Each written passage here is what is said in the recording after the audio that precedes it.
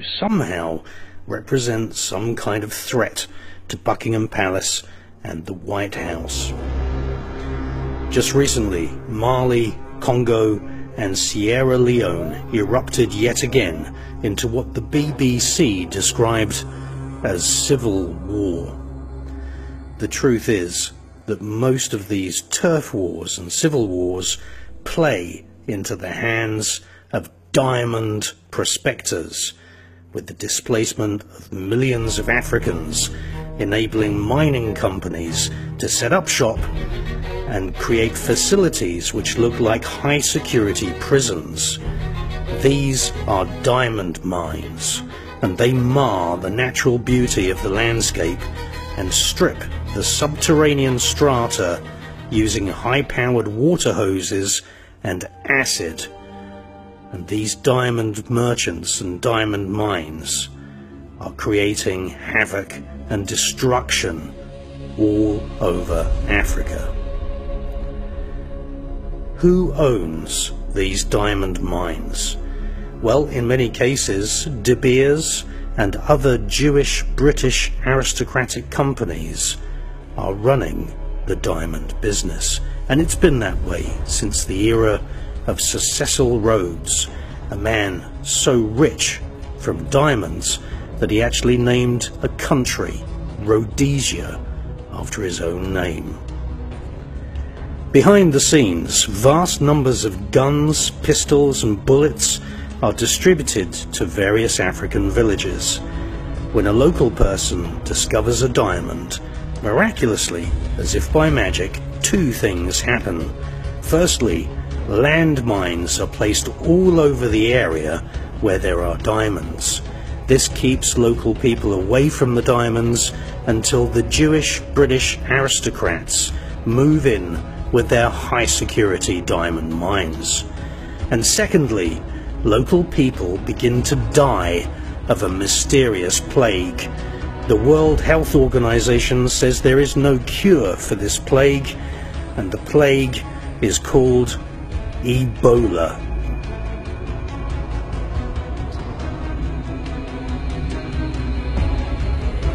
When the aristocratic murderer Lord Lucan fled London after killing a woman, the mainstream media claimed they had no idea at all where Lord Lucan went. But we have tracked him down. Lord Lucan went to Botswana, which is one of the African nations controlled by Buckingham Palace.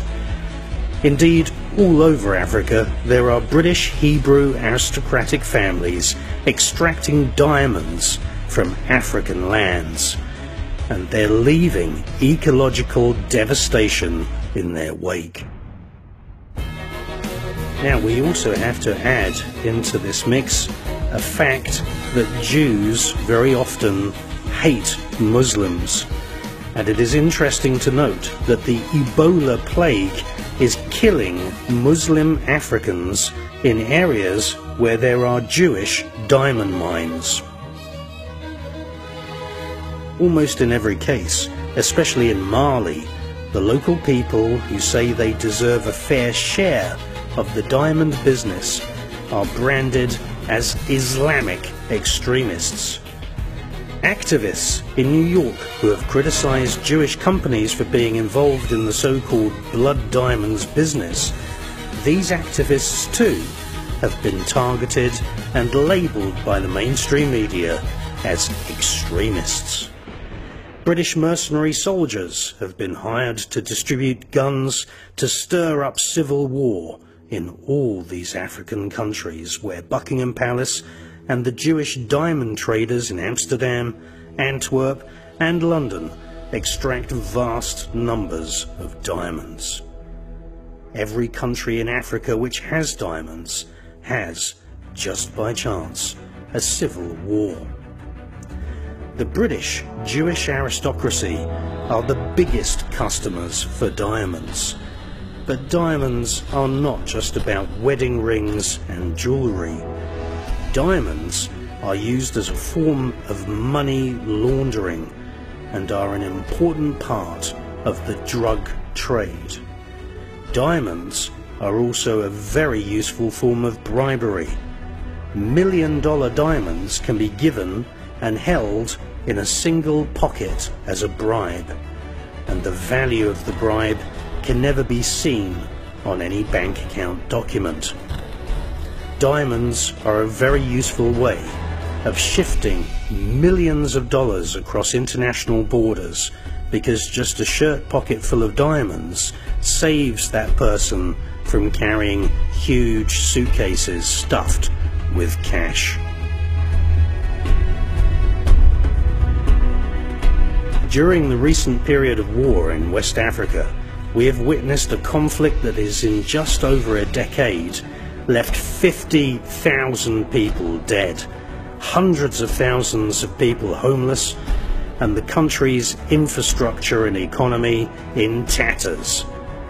The poor people in Congo, Angola, Sierra Leone, Liberia and Mali have not even enough money to buy good walking boots. But meanwhile, tons of diamonds have ended up in the hands of the Jewish aristocratic cutters and polishers in Amsterdam and Israel, who prepare and market the diamonds which are usually bought by the world's richest aristocrats. There is not a single diamond on the planet which has not caused massive ecological and or social damage. During the last 10 years of the African Diamond Wars, roughly half a million people have been the victims of killings, systematic mutilation or other atrocities, with some of the world's worst crimes committed by child soldiers who were drugged to desensitize them of this awful, fake war against terrorism, which is in actual fact fake civil war to protect the owners of the diamond mines. In the background, every week, private jets fly between the Congo and Tel Aviv in Israel, shipping out the weekly haul of diamonds from the area. There is, without question, a strange paradox that many African villages rely on a single standpipe of water, while just yards away, high-powered water hoses flush diamonds underground by workers who have to suffer the indignity of anal probes and x-rays as they leave their workplace. The Jewish bosses making sure that none of their modern slaves have swallowed a small uncut gem to allay the horrendous inequality of their society. While the Jewish bosses of these diamond mines earn billions of dollars, the drivers of the trucks and diggers and mining machines earn literally just a few pennies a day.